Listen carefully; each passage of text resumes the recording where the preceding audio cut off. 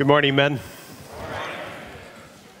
So, we have uh, a number of first time visitors this morning and repeat reunion type visitors for the new series, Men Reaching Men.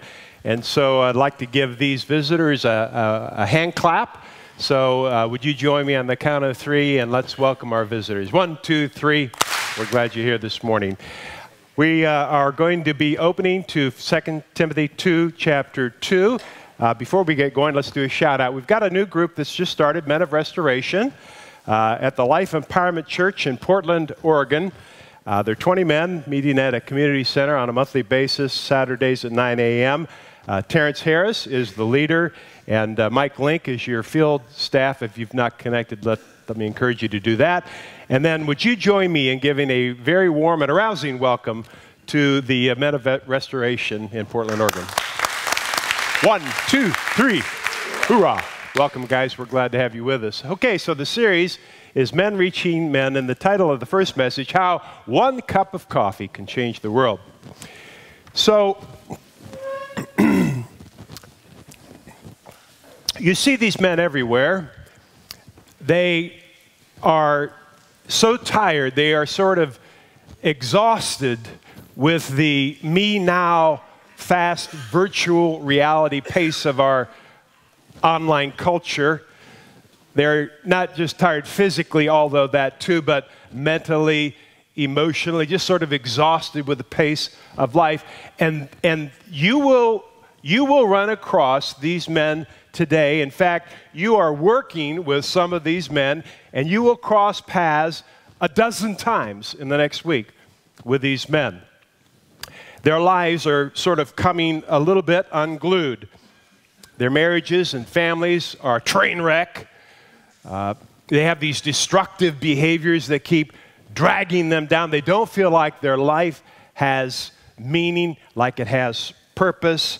Uh, they think their problems are unique, however, and they feel alone. And the last thing that they think is that you would have any idea of what they're going through or that you could possibly understand or that you would dare care about them on a personal basis. Now, for some of you, I could have just been describing your situation. So there will be something in this for you as well. Or you might be on the other end of this and you might be strong in your relationship with God and ready to help do something about it. So, we're going to presuppose that for this series, that you get it, that you are a true believer, that the main task that Jesus wants us to be working on in the world is making disciples. You join with Peter, with Paul, with James, with John, Ringo, whatever. You join with all the disciples in believing that this is, this is, the, this is the case, this is true. And so, with that presupposition in place, if you want to help a man become a disciple, what is it exactly that you want to help him to do? And how is it precisely that you can go about helping him do that? That's what we're going to be talking about. And so the, the goal eh, here is to give you some, some simple, doable steps that can help you immediately begin discipling men or make more disciples as the case may be because some of you of course are already doing this on a very regular basis and so with that in mind I want you to be with me, if you would, at 2 Timothy chapter 2, verse 2. And, um, and uh, the first thing up is exactly how does Jesus want us to help men? Exactly how is it that Jesus wants us to help men? The situation first, what is the situation that, that brought this text into existence? It's, a, it's about 67 AD. Paul is in prison in Rome and very near the end of his ministry. Timothy is his protege, his mentee, his disciple. It's been about 10 years, or maybe a little bit more, since he first met Timothy. Timothy has been a, a, uh, a disciple maker in the city of Ephesus for about four years. It's about four years between the first letter to Timothy and now a second letter four years later. And Paul is very near his death. He will soon be beheaded in Rome. Nero is the king. Nero has burned down half the city. Uh, it's, some say that, that he's using Christians as human torches and burning them all around Rome. So it's a time of great suffering and tribulation. And in this book, Paul says, I have fought the good fight. And then that he's finished the race. So, what the situation that's called this into existence is that Paul is trying to communicate an expectation to Timothy that, hey, it's going to be hard. In fact, uh, verse 1 talks about be strong uh, in the grace of the Lord. And then in verse 3, it talks about enduring hardship as a good soldier. So that's the expectation. And, and what he's trying to do is he's trying to be an encouragement. He's trying to encourage Timothy to be faithful and to remain strong, strong in the grace of the Lord. And then he goes on in verse 2, and he says this And the things you have heard me say in the presence of many witnesses, entrust to reliable men who will also be able to teach others. So, what is there anything that we learned from this text that we would otherwise never know? That's always a great question to put to a text because uh, many texts just repeat other things that are said in the Bible, but from time to time you do find a text in Scripture, in fact, many texts in Scripture, in which the text says something that you would otherwise never even know. And this is the place, this is the place where Paul gives us the principle of spiritual multiplication. Spiritual multiplication. Let's take a look at this text in a little bit more depth. And the things that you have heard me say in the presence of many witnesses, entrust to reliable men. So, what is obvious in this text? Now, you've heard me say this before. A poor message will take what's obvious and make it obscure. But a good message will take something that's obscure and make it obvious. But a great message will make the obvious obvious. So, what's obviously going on in this text is that Timothy has heard some things from Paul, and Paul wants him to build a team. You have heard some things, you have heard some things about God, and God wants you to build a team. He wants to, you to reproduce yourself to build a team. That's what's going on here in this text. So, what does it mean to entrust when it says to entrust these things to reliable men? It means to set before. It just means to you you you don't you're not forcing people, you don't have to force people to do the thing that you want them to do. It, when, you, when you entrust them, it, it literally means to set before. So you just set the table, and then it's up to the person to respond. You've heard me say this too, if you've been here any time uh, like the time at all. God does not call us to produce a particular outcome, He calls us to be faithful. God calls us to be faithful, not to produce a particular outcome. And He's looking for what kind of men? He's looking for, it says, what kind of men? Faithful men. So set these things before what kind of men? Faithful men. 1 Corinthians chapter 4 verse 2 is a very important text to man in the mirror. And it says, Now to whomever has been given a trust or a stewardship, he must be found faithful. He must be found faithful. I'll tell you, it's interesting, both in business and now in ministry.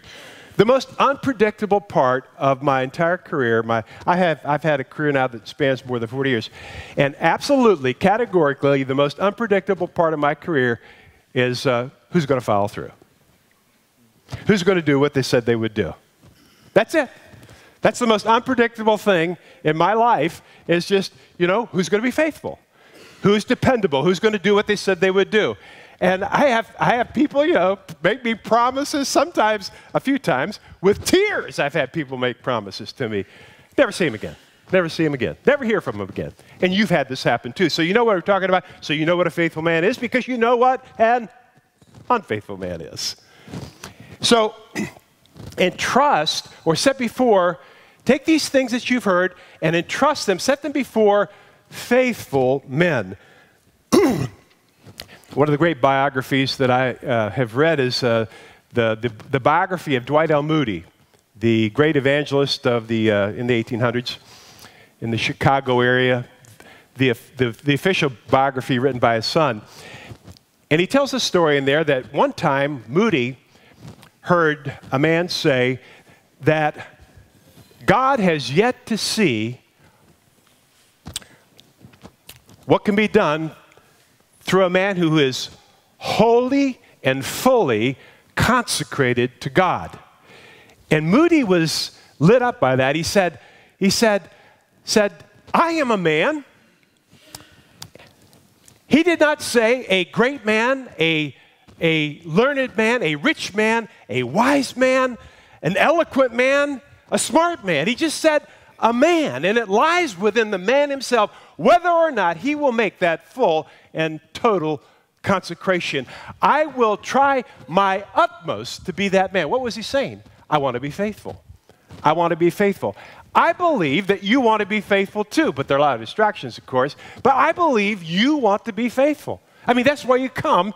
I mean, why else would you get up and go to a Bible study at, at Odark 30 on a, uh, uh, uh, so early in the morning?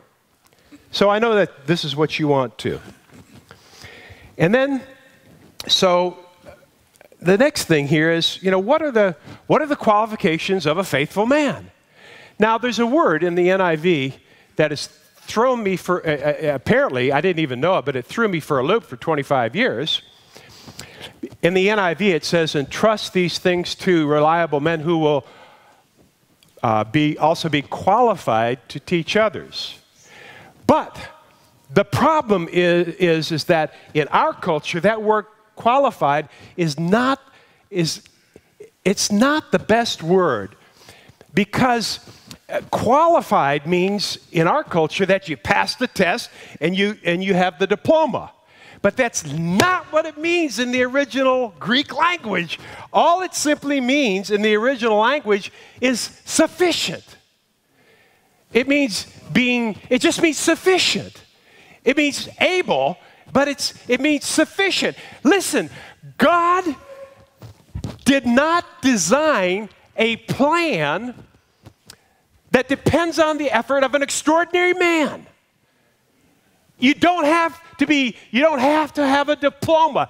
It, it's, it's sufficient, it's able, it's, it's fit, it's enough. That's what that means. You have no, you, you have no idea how this changed my, my whole paradigm of thinking this, this week as I'm studying this test. All these years I've been reading qualified, and I've never actually exegeted the text until, until this week. Absolutely phenomenal. So, what do we learn from this text that we would otherwise never know? That you are qualified. You, you are, if you are breathing,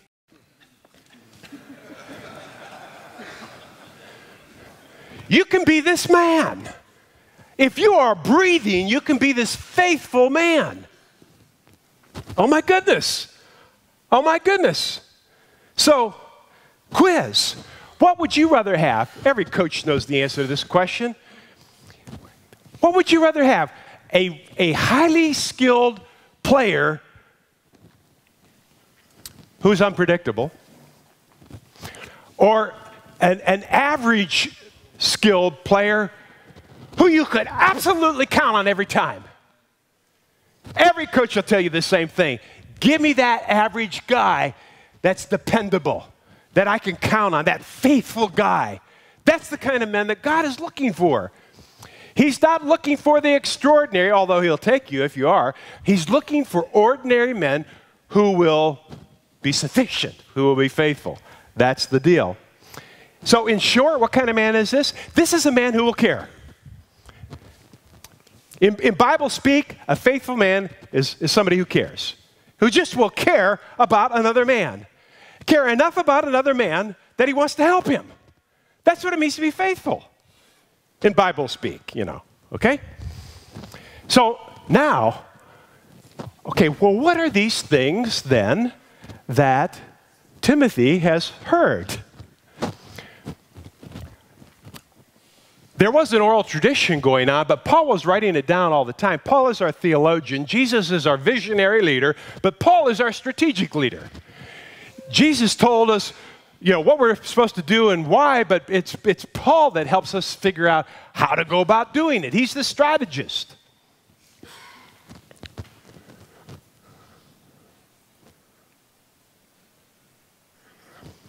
So, what are these things that, that Paul is passed along? Well, we know what they are now because he's written them down. They're now inscripturated, you see?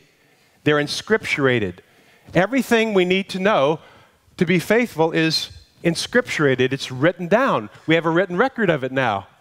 This is awesome. And there are three big chunky things that are involved in these heard things. Number one is how to have a relationship with God. Number two is how to have a worldview that's biblical. And number three, how to have a lifestyle that's worthy of Christ. So, this is the big idea for the day. And it's a long one. Okay, it's like eight big ideas. All right, but this is it. You know, for you visitors, usually it's like uh, I try to keep it to 15 words or less, but this is not 15 words. Discipleship is one man caring enough about another man to help him build a relationship with God, a worldview that's biblical, and a lifestyle worthy of Christ. So, jot this down. I'm going to give you a second just to jot this down. And I want to talk. There are, th- yeah, there's a good idea. Take a picture of it for crying out loud. Duh. Yeah. Actually, writing that out is good too from a learning theory perspective helps screw it into the brain. So we have these three outcomes, you see. We have these three outcomes uh, in discipleship. So discipleship is all about, boy, I said that and about 20 phones cameras came out. Great. So discipleship, it, it's, it's about one man, you, caring about another man, and that might be you too, uh, to help him build this, this relationship, this worldview, and this lifestyle. And so here, uh, and you'll be able to see that again if you haven't got it down. Let's talk a little bit about these three outcomes. And when I say a little about these, I mean a very little about them. We can flesh this out over the series, but the first thing is, is the relationship with God. So if you abide in me and my words abide in you, then you will know the truth people will know that you are really my disciples. If you abide in me and, and, and my words abide in you, uh, then you, you can do significant things. Apart from me, you can do nothing. Teaching, look, here's, here's, here's my experience, and I bet it's your experience too. There is a tendency in Christianity to think if we give men the right information, that everything is going to be all right. But look, think about it. If just having the right information would make you the man you want to be, we'd all be the men we want to be. Because we already have heard all the information we need a thousand times, squared. You already know everything. I mean, you've heard everything you need to hear. So we spend, but we spend Take a guess. What? 80% of our time just inundating men with information. Uh, if, you, if you just do this, if you, if you don't do that, if you follow this rule, this tradition, here's a regulation for you. Yeah, here's the way, here's how we can fix you and, and get your behavior all cleaned up. And so that you can be the kind of man that God wants you to be. But guess what? The foundation of Christianity is a relationship with God through Jesus by faith through grace. And so, what we really want to be focusing on, I think we should be focusing on in, in making disciples, is we should be spending 80% of our time with men on helping them have a relationship with God. So we should switch this from the 2080 to the 8020, or is, or is it the other way around? Anyway, you get the idea. Let's spend most of our time, and that's a, you know, just a category, but uh, 80 20, whatever, whatever the percentage is, most of the time we should be focused on the relationship. Listen, when Americans have a problem, we tend to ask this question How do we fix this problem? We're, Americans were great fixers. When the Chinese have a problem, they ask a different question. They ask, What are the relationships we need to put into place to solve this problem? Do you see it? Do you see it? Score one for the Chinese. But guess what? Where, did they, where do you think they got that idea? They got that idea from Jesus. Jesus is the original guy who, who said, okay, well, what are the relationships I need to put into place to, to fulfill my plan, to make my, to fix the problems? Hey, nobody ever faced more problems than Jesus, and nobody still faces more problems than Jesus. So, how does Jesus plan to fix his problems? He's going to gather together a few men and he's going to build into their lives and instruct them to go and do the same somewhere else with some other guys, you see. So, the relationship with God is very important, and also relationships with others as well.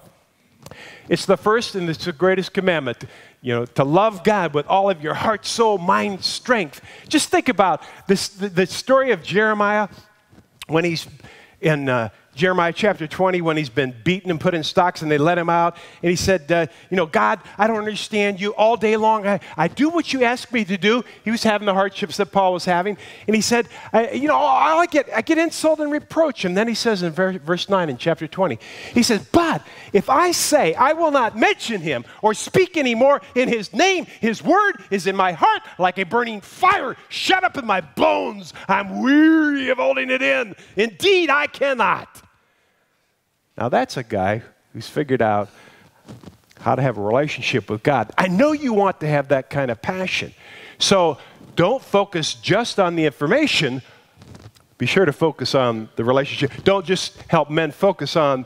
Hey, look, if the relationship is where you actually feel close to God, then that's what's going to help the man who's not as far along as you are yet also feel close to God. All right, and then the second one here is the worldview. So, uh, you know, we all have philosophies, values, and beliefs. And it is important to have the right information. So, this is the doctrine, the theology, the, uh, the biblical literacy, if you will. Uh, there, are, there are some there are some non negotiables in, in the Christian faith. In other words, there are some things a man really does need to know and believe in order to be a Christian. Now, you, know, like the virgin birth, uh, the, the, the resurrection of Jesus, uh, uh, justification you know, through faith, the, the, the, the necessity of working out that faith in uh, service. All, all of these things that are in the Bible, they're there and they're, they are non negotiables. Now, look, a guy doesn't have to believe them, but he can't call himself a Christian if he doesn't. So he needs to know what those things are. But there are also many, many, many non negotiables. Okay, you want to start talking about worldview? Uh, Republican, Democrat. Let's just, you, you could just stop right there, okay? Can you be a Republican and be a Christian? Yeah. Can you be a Democrat and be a Christian? Yeah? You see all the idiots that just said no? you know, look, get a worldview, baby. Get a biblical worldview, you know? But here's the, here's the thing. Here's the thing. We, we, do, we do tend to make non negotiables, uh, excuse me, we tend to make negotiables into non negotiables. So look, we uh, young Earth, old Earth. Okay, we had a guy come come in here. He doesn't come here anymore. And so I was making the point one day that Genesis one, I do not believe was written for a scientific uh, uh, reading of the creation account. And I based that on the on the uh, on the word yom for day, Y O M, translated day. Well, guess what? The word yom translates, it could be a day, it could be a short period of time, it could be a long period of time, and it can be eternity. It's used that way differently uh, throughout the Bible. So, so I don't think that God intended Genesis 1 to be read scientifically. I think He meant for it to be read theologically, okay? And so, uh, but we had a, a, a, guy who, for him, young Earth, a six, six day Earth, six literal day Earth, was a, was a non negotiable. I said, hey, look, I just, I'm not there. You could be right. It could be six days. It may well be six days. You know, God could build, He can build time into, you know, He can compress time. He could do that if He wanted to. But I don't know. And honestly, I don't really think you know either.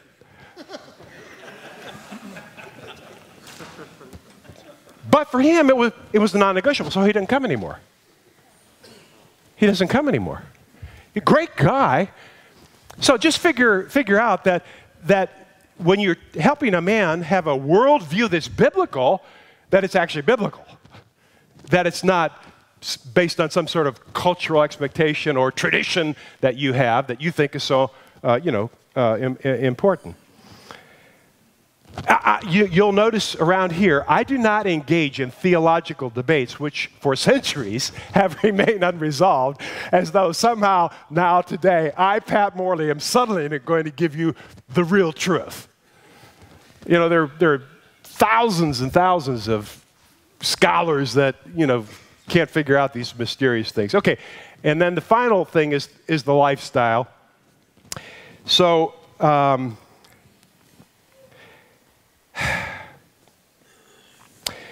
uh, Philippians 1:27 talks about living in a manner worthy of the gospel of Christ. Lifestyle is there's so many choices in lifestyle. You know, you drive a new car, an old car, a little debt, no debt, private school, public school, uh, Republican, Democrat, if you know, in terms of party affiliation. Uh, really nice yard, not that nice yard. I don't care what my yard looks like that much. Uh, retire early, retire late. Look, there's no one right answer for, for most of these things. And yet there is a tendency to try to teach guys that there is one right answer for these things.